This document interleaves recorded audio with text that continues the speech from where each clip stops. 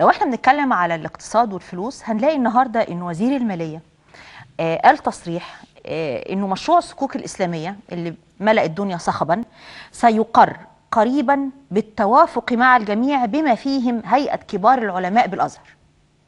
لما نسمع التصريح ده لوزير المالية نقول الله هو إحنا كنا سمعنا غلط تصريحات الأزهر آه طول الأيام اللي فاتت وتحديدا امبارح وأول امبارح يعني في تصريحات نسبت لشيخ الأزهر ولمؤسسة الأزهر برفضها التام لهذه الصكوك الإسلامية. والحقيقة النص أو النصوص اللي كانت دايما سواء بتتقال في الراديو أو في التلفزيون أو في بيانات رسمية ما بتتكلمش على الصكوك من الناحية الشرعية ولا الفقهية ولا الدينية. بتتكلم على أنها صكوك تتعلق بأصول دولة بأصول الشعب وقد يكون فيها خطر اقتصادي على البلد.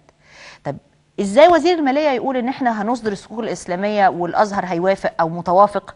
ونلاقي مثلا وكالة رويترز النهارده مش امبارح ولا أول نقلت عن شيخ الأزهر اليوم الاثنين الشيخ أحمد الطيب قوله ده على عهدة رويترز إنه بيقول لو جاء مشروع يعتمد على ضياع أصول الدولة وهو بيعلق على الصكوك الصكوك الإسلامية على ضياع أصول الدولة لا يمكن للأزهر أن يوافق عليه. لأن رعاية أصول الدولة وتنميتها والحفاظ عليها واجب جميع المصريين. هنروح لوزير المالية ونشوف جزء مما قاله. تردد كثيرا خلال الفترة الماضية الحديث عن الخلاف الدائر حول الصكوك الإسلامية رغم أن البعض لا يعرف ما هي تلك الصكوك ولماذا كل هذا الجدل الدائر حولها. هو صك يتفق مع النظام الإسلامي أو لا يتفق مع النظام الإسلامي.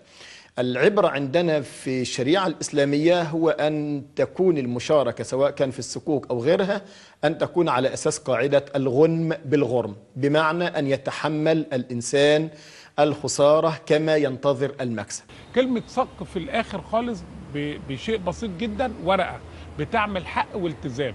الورقة دي صاحبها ليه حق؟ اللي خدها عليه التزام وعقدت اللجنة الاقتصادية بمجلس الشورى اجتماع مع الدكتور المرسي حجازي وزير المالية لعرض المشروع الموحد للصكوك الذي أعدته اللجنة بعد أن قامت بدمج المشروع المشترك بين حزبي الحرية والعدالة والنور وتلافي جميع السلبيات التي علق عليها مجمع البحوث الإسلامية ورفض بسببها مشروع الصكوك الذي أعدته الحكومة وأرسلته للمجمع. فيما صرح وزير المالية المرسي حجازي اليوم أن مشروع الصكوك الإسلامية سيقر قريبا بالتوافق بين الجميع بما فيهم هيئة كبار علماء الأزهر. هذا ال ال ال الغموض أو هذا الارتباك أساء إلى الفكرة وأساء إلى احتمالات قبول المواطنين لهذه الفكرة خصوصا ما يتعلق ب منح منح المستثمرين أصحاب هذه السوق نصيبا في أصول تملكها الدولة. لكن طرح هذه الصكوك في مشروع قانون أعدته الحكومة لعرضه على مجلس الشورى أثار جدلا واسعا في الأوساط الاقتصادية بعد أن رفضه مجمع البحوث الإسلامية قائلا أنه لم يراعي الأسس الشرعية في التملك كما أنه يحمل مخاطر عديدة فيما يتعلق بإمكانية رهن الأصول العامة. هم رفضوا الموضوع من الناحية السياسية وهي ما ذكرته بأنهم خايفين على أن أصول هذا الوطن مقدرات هذا الوطن أرض هذا الوطن القديم تباع لغير المصريين وتملكها غير المصريين ويبقى عندنا نظام احتلال بشكل غير مباشر. وقال هشام قندير رئيس مجلس الوزراء في بيان الأربعاء الماضي أن مشروع القانون يستبعد الأصول العامة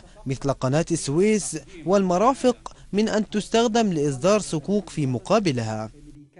وبينما تصر وزارة المالية على أن هذه الصكوك تلعب دورا تنمويا من خلال مساهمتها في تمويل المشروعات الحكومية والخاصة بمبالغ تصل إلى 200 مليار دولار.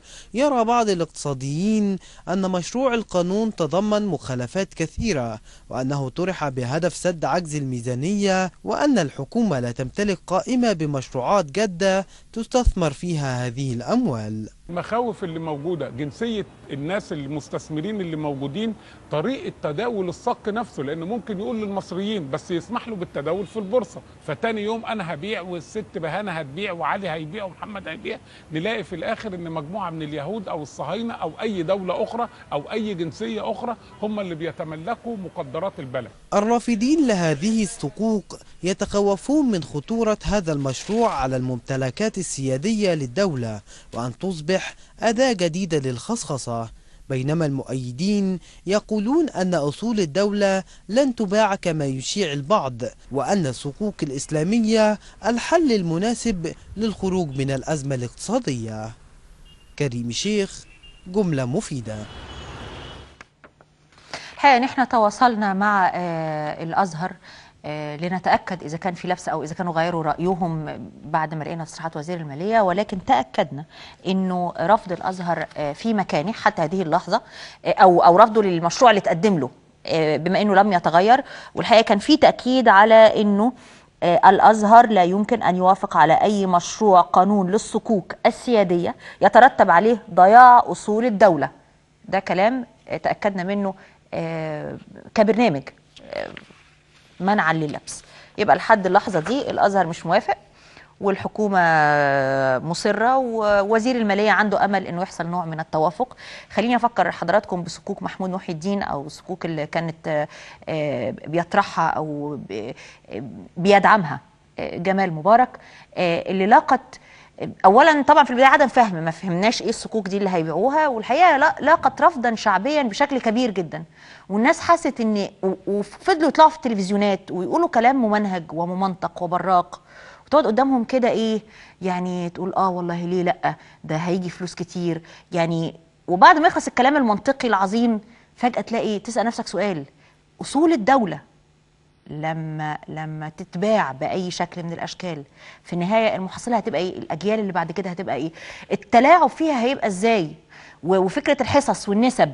ومين ممكن يبيع لمين إيه؟ ومين ممكن يأجر لمين إيه؟ الحقيقة الموضوع ده أو الموجة دي خاضها المجتمع المصري من منذ سنوات بياخدها مرة أخرى بتعديلات طفيفة تبدأ من الاسم إنه بدل ما كانت الصكوك فقط بقت الصكوك الإسلامية وتعديلات أيضا طفيفة في الفكر. يعني في بعض ال- ال- المؤسسات أو الجهات قالوا لا يمكن هتدخل جوه الصكوك وبعض ال- التعديلات أو الرتوش آه، المختلفة عن المشروع السابق.